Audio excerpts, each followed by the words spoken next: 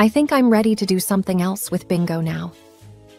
Our time together is almost over. She's been taking photos all day.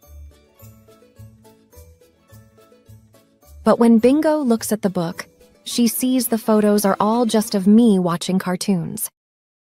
Bingo gets upset. Bluey seems to understand. Bob just copies everything we do, and all we're doing is really boring stuff. So we need to do some really exciting stuff instead. She takes all their tablets and puts them in a basket.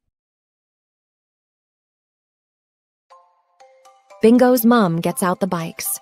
Bingo and I are about to have fun times. The big blue guy takes photos of our adventures.